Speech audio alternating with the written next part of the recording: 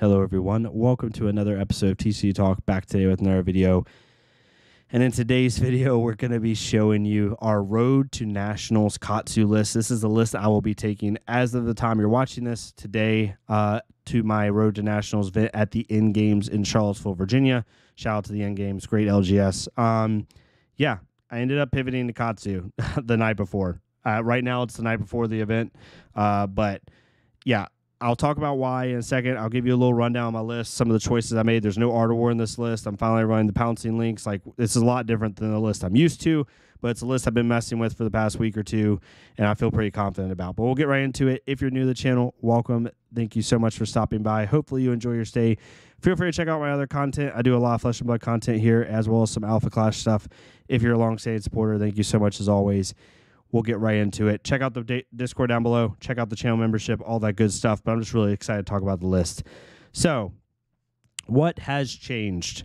We're going to talk about the elephant in the room. Razor versus Art of War. So I'll give a little preamble to this. Road to Nationals is a little bit different than like a calling or you know, a pro tour or nationals or whatever, right? Road to nationals is you can kind of gauge what the meta is, especially if there's been one or two road to nationals before you. And I can tell you right now, our meta is pretty diverse for the most part. Looking at this here, there was a road to nationals today about an hour hour away. Um, and excuse me, and the top eight, if I can read it off to y'all really fast, was and this is from one to eight seed: Dromai, Teklovossen, Kassai, Kayo, Maxx, Uzuri, Bravo, and then another Kassai. Seven different heroes in the top eight. Very, very diverse meta.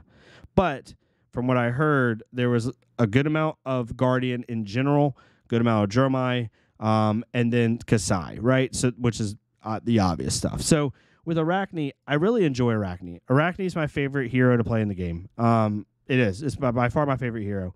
But I don't like not enjoy playing Katsu. Um, and for me, this might be my only road to nationals I go to, and I feel very confident into the meta. Verse Vice, except for Victor, which is really I've finally gotten the matchup to being like 50-50 into Victor. a little bit less. It's like maybe 40-60. Um except for Victor, I feel really good. I feel fine to Bravo. I really do, especially with this list. Um, I'm not saying it's favored by any means, but I think it's as close to 50 50 as it's ever been. Um, it's close to getting to 50 50. I feel good in a Dromai. Um, I feel good into Kassai. Kassai's a slugfest. It's close every single game, but I feel good into it. Um, and I feel good in a brute in general. Like I really do. Levia has to really high roll. Kayo, I feel like I can race, um, and stuff like that. So with Katsu, I made a couple changes. So as you can see in the equipment suite, couple notes. One, we're finally running Mask of the Pouncing Lynx. I'll talk about the Pouncing Lynx package down here here in a second, but we're finally running this card. It's just needed in a Victor. It's kind of needed in the Kassai as well you just don't have a choice. Like you have to do this stuff. Um, the good thing about Katsu now with the with the bonds line is like every card that Katsu plays that has go again or a chance to have go again is an on hit, right? Katsu, pretty much every card Katsu plays now because of these cards is an on hit. So you can run Pouncing Lynx a lot easier. I've never been on Pouncing Lynx before. I finally just got on it these past few weeks and I've been enjoying it. I will say it can get a little bit risky in especially in the Kassai matchup specifically, um, to run pouncing lynx because it really if you blow your load too early, you're literally just a shell of yourself, right? Because you don't have mass momentum, you don't have pouncing lynx. You're just hoping to God that you draw into natural combo lines or the potential to have natural combo lines. And really, if you don't do that, you just absolutely gas out as a Katsu. So you have to be. This is a really risky card to run, but I think it's necessary into some of those decks that are just never going to let you get of Momentum off. Which I know I've never been on, but I finally saw the light. Um, I saw the Battle Hard Manila list, and it really encouraged me to try like more yellows on these. Um, it really encouraged me to try a Pouncing Lynx package, so I ended up trying it, and it's done really well for me so far. The other thing is the chest piece. I am not running Tunic at all. Um, Heartened Cross Strap for me is just a comfort thing. I run, I want to run this in every single matchup. I want to be able in the fast matchups. It has obvious use case. It allows you to get your combo lines off quicker, more efficiently, to be able to race. And but in slow matchups like Tunic, unless you're doing it off of like a spinning wheel kick for free or something, or Descendant, maybe you usually Tunic doesn't really do a whole lot. At least for me. I mean, yes, there's certain use cases, but there's nothing better than you know. Um, getting four reds, like getting a, a surging descendant bonds and like a Hundred Winds and just being able to pop this thing and go, right? On a situation where normally at best off tunic you'd have to pitch your Hundred Winds to play surging, but now you can't discard at all, which is still good, but not as good. This just it's a get out of jail free card in the slow matchups. And like I always point back to my calling Dallas game against Cody Williams where there was one play where I got two cards discarded from hand off a Tear Asunder. The only reason I was able to keep even reasonable tempo was because I had this card. Because I was able to pop it, play Surging into Whelming, and then threaten nine damage with a draw. And Cody was forced to respect my Whelming, right? So without that, I probably lose that game because I literally wouldn't have had a hand. I would have had to like Arsenal the Surgeon and hope the guy doesn't crush me.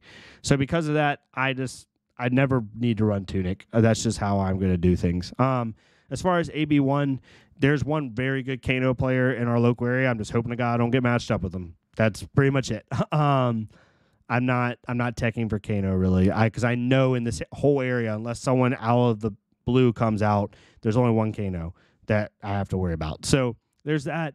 As far as the list itself, it's pretty standard. We'll talk about the elephant in the room. There's no Art War. Razor for me, there's several reasons. One, anyone who's watched my channel for more than two videos knows I am not an Art of War Katsu gamer.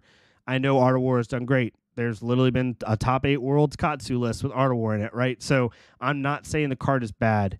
It's just not how I prefer to play. In this meta, I've had several you can't take a turn off and you have to have very consistent and constant pressure even in the slow matchups right you really do and art of war because of the value blocks because of the new guardian arm piece because of uh kassai's ability to block over by one without even breathing like all this stuff right art of war has become less and less impactful for me except for like those really big pop off perfect turn plays off tunic or whatever right other than that art of war clunks my hand more than it doesn't. And even when I Arsenal, it just feels bad most of the time to play. It really does. So Razor has been amazing for me. I've loved it, and specifically in the Guardian matchup, to be able to guarantee an on hit has been insane. Um, being able to like Razor Whelmings and Hundred Winds and Descendants and even Dishonor a couple times on people is just super super nice. Um, and late game they have to respect you so much more. I'm just back on Razor. I did well with it, the Dallas calling, and I'm gonna be I'm gonna try to do well with it tomorrow. We're still on the 600 wins package. We went down. We went to three bonds and three descendant, like most of the lists you're seeing. Um, after seeing the Manila list, I was like, you know what? I gotta bite the bullet. I gotta try this this out, swallow my pride a little bit, and do it. Um, and it's felt great. It's been really good. Um, spinning wheel kick came in place for the leg tap line. Sorry, y'all. I love the leg tap line. I still think it's amazing. But with Ancestral Harmony, spinning wheel kick's kind of where you need to be.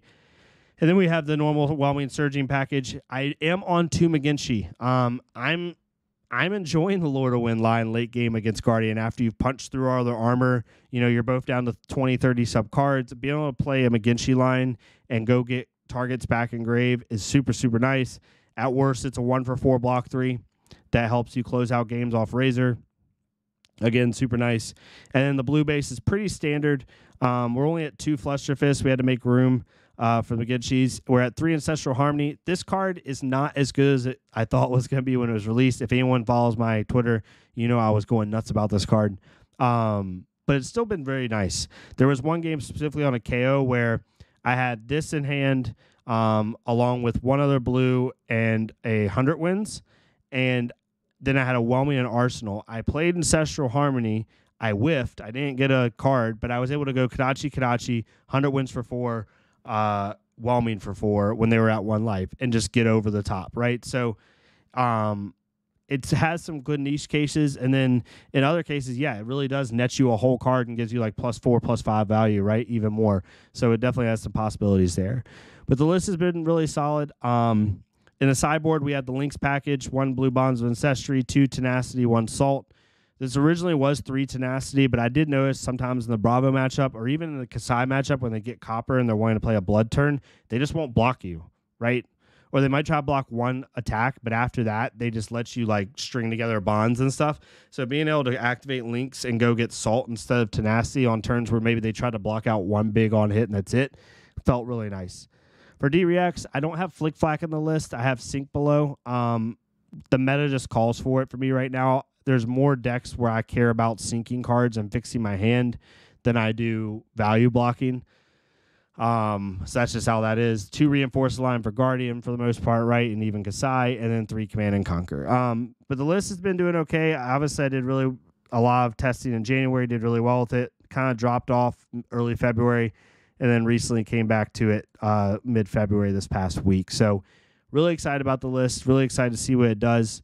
Again, you'll be watching this as I'm like on my way to my RTM. Um, so I'll definitely give you updates during the event. We're gonna be doing some. Me and Reagan are gonna be doing some YouTube shorts.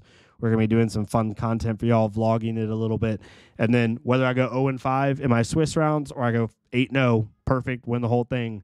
I will give you my feedback on what I did, how I felt, how the cards felt, how the matchups were, and things like that. But hopefully, you guys have a good rest of your week. Hopefully, you're staying safe and you have good luck on your RTNs. Really excited to see how RTN season shapes up. Like I said, the one that was two hours north of us today, or hour north, uh, had seven heroes in the top eight, including a two seed Teklovossen. And this is a good area. Like Mara Faris and their team are in Richmond. Uh, Merrick Kemp lives here locally uh, near me. Uh, there's a lot of really talented players, so it's not you know just some crazy Wild West stuff. Uh, people are doing some really cool things. So very excited to see how I do today. At the time you're watching this, um, I'll keep you all updated. But yeah, hopefully y'all stay safe. Thank you so much for watching. If you want to leave a like, comment, or subscribe, or support the channel via membership, feel free to do so. If not, it's totally fine. Go to another creator, do it for them so we can get more people seeing this game. And yeah, I'll see y'all next time on TCG Talk. Thank y'all so much.